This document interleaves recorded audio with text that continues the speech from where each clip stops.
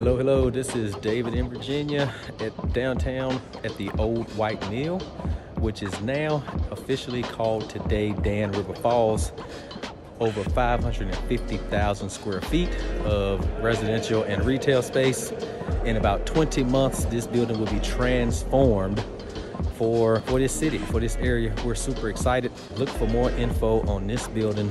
Thank you to the Alexander Group, the city of Danville, for all the hard work that they've done to get this project up and running. We'll see you back. Y'all take care. God bless.